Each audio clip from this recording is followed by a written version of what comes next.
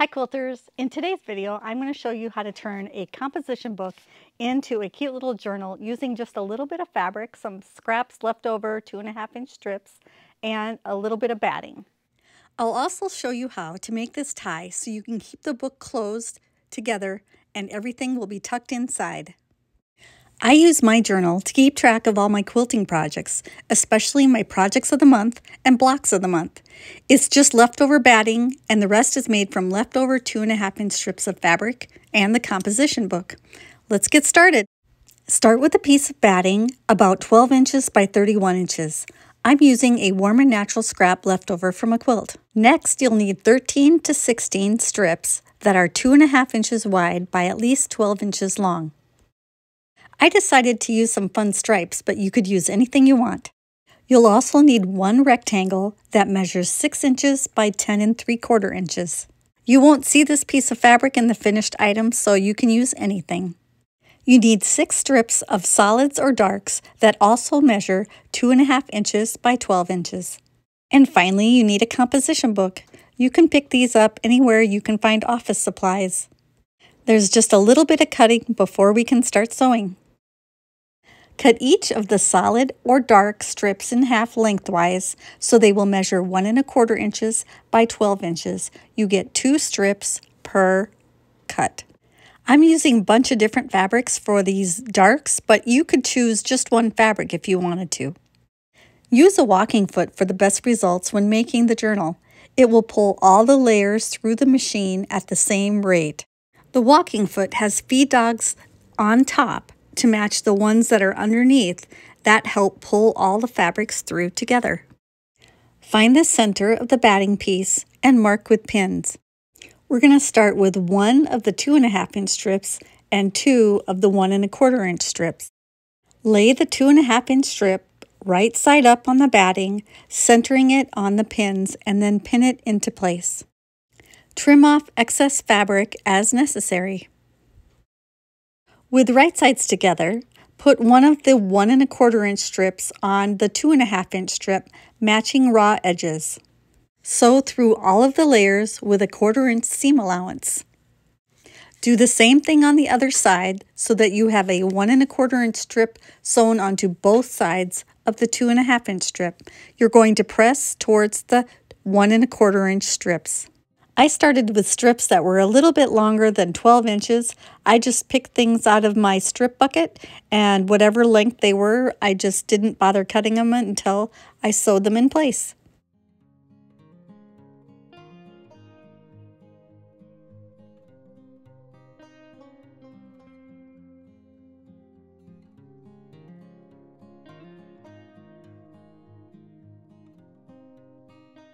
When I'm working on smaller projects or blocks, I like to use my smaller portable iron at the sewing machine. It speeds up the process of making whatever I'm doing because I'm not getting up and down to go to the ironing board.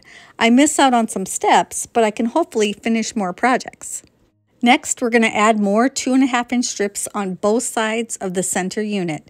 We're going to keep alternating the strips and pressing until the whole batting piece is covered. Make sure you press after every strip that you add on.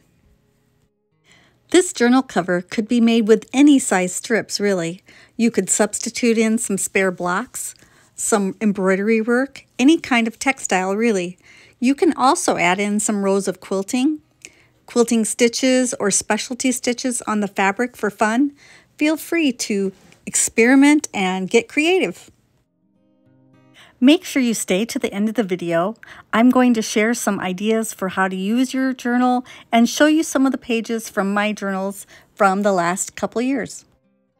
One of the things I love to journal about is my quilting projects. I like to record my inspiration, the fabric that I'm using, any kind of labels I've gotten from the fabric, and pictures of the finished projects. And, when possible, I like to get a picture of the person who receives the quilt and make sure I get a picture of them with their quilt.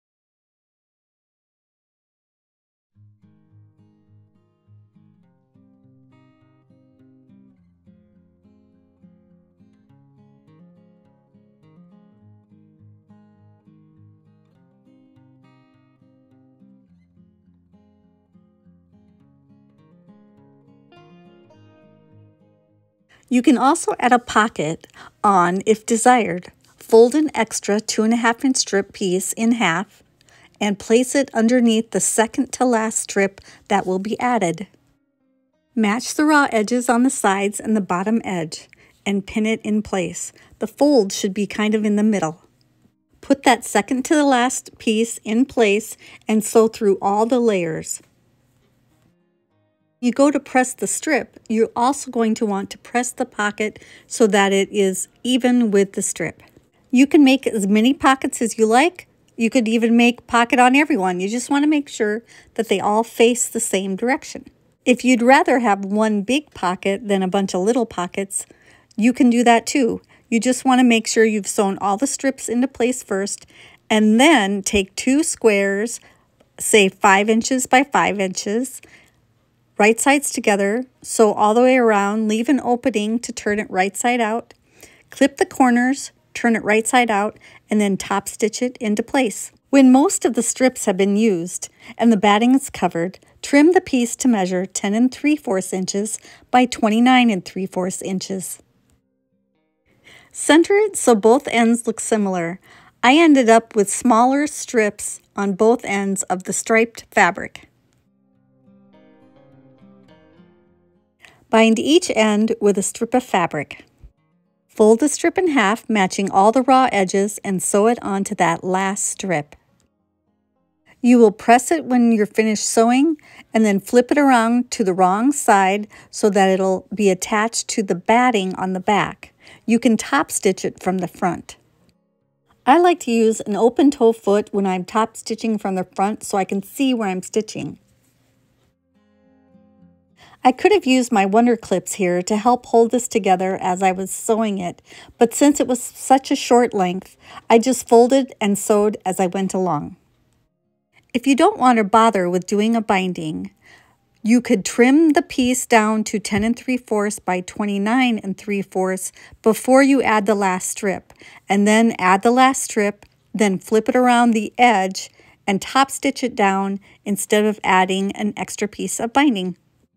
If you want to add any trims, ribbons, or patches, do it now before we do this next section. Now it's time to fit it to our composition book. Fold in the ends with the binding in the center. They should be almost touching. The batting is facing out. Place the composition book between the folds to test how it's going to fit and make adjustments as necessary. Pin one side only. I always check the outer fold to make sure it's laying flat and not bunched up. Make sure it's even on both sides.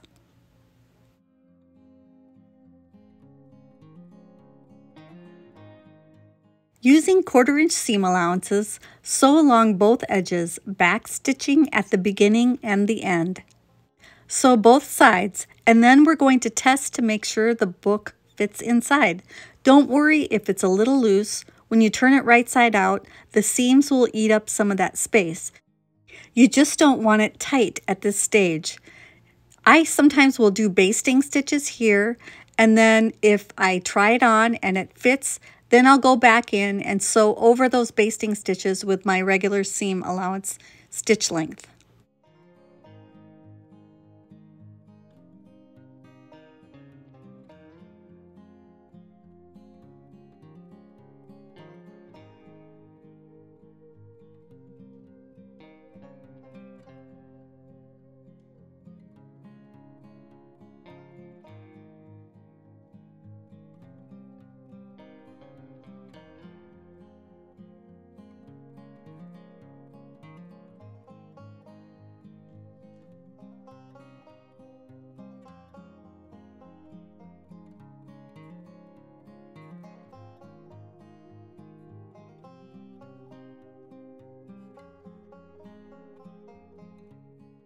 Once the first side is finished, then you can go ahead, put the book in, pin the other side, and sew it into place in the same way.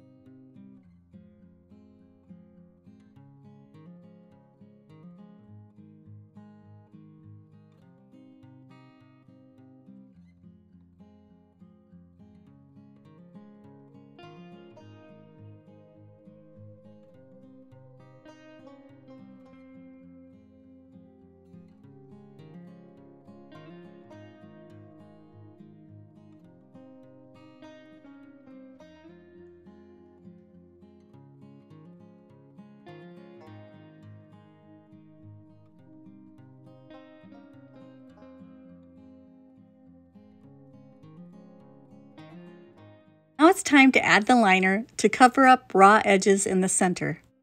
Center the 6 inch by 10 and 3 quarter inch rectangle with the right sides down onto the cover and sew it into place using a quarter inch seam allowance.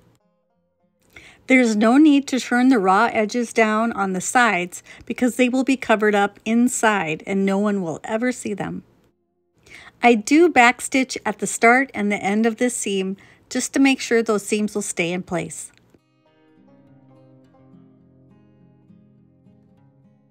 Flip the centerpiece so it is right side out and press if needed. Trim off the corners just a little bit to reduce bulk.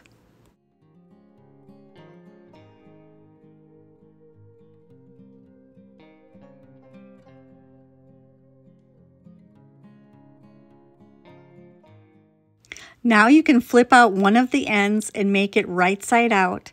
Make sure the corners are nice and crisp. Kind of put your fingers in there, feel around to make sure it's going to lay flat. Then you're going to do the same thing with the other side. You can press it with an iron if you want, or you can just flatten it with your hands. When you put the book inside, that's going to help it lay a little bit flatter than what you're seeing right now.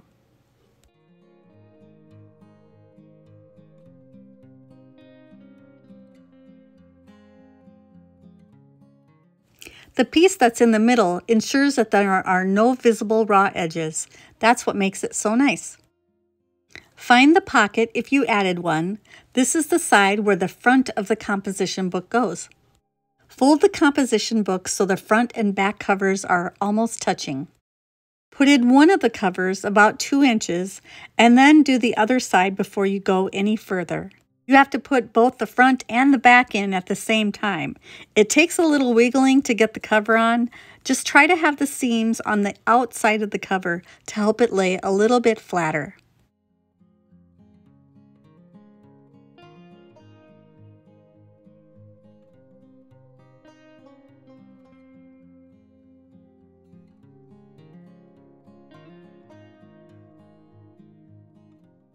Now all that's left to do is to make a tie to hold it shut when you're not using it.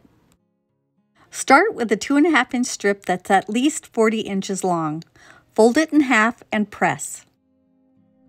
And then you're going to open it up and fold in the raw edges to meet in the center at the fold line.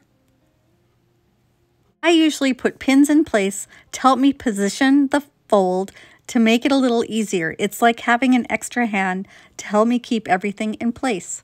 When you're done with this part, you will fold it in half and press it once more. We're going to start on one end and we're going to sew close to the edge on both sides of this strip. I start by sewing a diagonal line, backstitching once the whole way to make sure I have three lines of stitching. Then I sew close to the edge and I'm going to do that on both sides. When I get to the other end, I will do another diagonal line.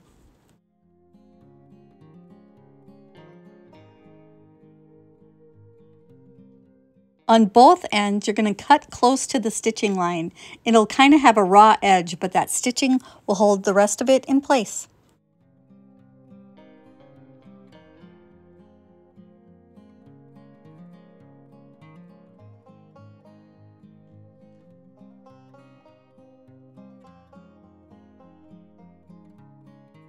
Tie I made is so long I can wrap it around the journal twice before tying. It doesn't need to be that long. You can make it any length you like. And with that, our journal is ready to go and start recording all of our memories and fun things. My most precious things aren't things. They are family and friends and memories. And these journals are where I write it all down so I can relive it and remember. If you'd like to make your journal from a single piece of fabric, you can see our video from last year. We'll leave a link in the description below. And even though this one looks like it's two different fabrics or four different fabrics, it's actually just one piece of fabric that I used to make the journal. This is the one I've already started for the year 2024. And I like to document my quilting projects, family event, silly everyday things, pictures of the dog, pictures of vacation, news from friends, and things happening around town. And I try to keep it really positive and reflective. And I've also used it to write down my 12 projects. So I've got it all listed in there. And then every month I kind of check back and fill in what month I'm doing that project. And if I completed it, I will add on at the end that I completed the project and make a big smiley face. This is my journal that was for 2023. And I'll just show you a few pages to see how I set it up. I use a lot of stickers. I take labels off of things. I print pictures on the printer, just right from my phone. Here's um, a little diary of how we built our shelves and moved things around in the store. This is a day we had at the Minnesota State Fair and we have some stickers, our ticket, pictures of the family, the fun stuff we did. This is the day we went to Top Golf and had a good time and we also went to the Centennial Lakes Park mini golf putting course. I put in here a reminder of the quilts that I donated so I can keep track of what I've given to who. This one, I actually put some fabric on this page and that was when I did this project. I have the label from the jelly roll and then I put in just a little piece of each of the fabrics. So I've got a little record of what this is made out of. This book, actually, I had it, I had made it with ties, and I just decided to make this year's a little different, and that's why this one has a big tie. These seemed a little flimsy after a while. I throw in flyers, stickers, fabric, pictures, souvenir type things, cards, ribbons, anything I can think of. And I love looking back at the year when I am uh, at the end of the year, I just kind of reread the whole thing and look back at it. And if I want to put something big in it that I don't want to tape down, I usually just make a little pocket out of a couple of the pages. I've taped it here, put some stickers on it to decorate it, and then I just slip whatever I want into the pocket. These would also be useful for lists or idea notebooks. They make great gifts for family and friends. You can even include a set of markers or pens and some stickers to make it extra special. I made my first journal in 2021 and loved doing it so much I did it again in 22. And then 23, I had a lot going on, so I actually filled almost two full journals. So we'll see how far I get in 2024.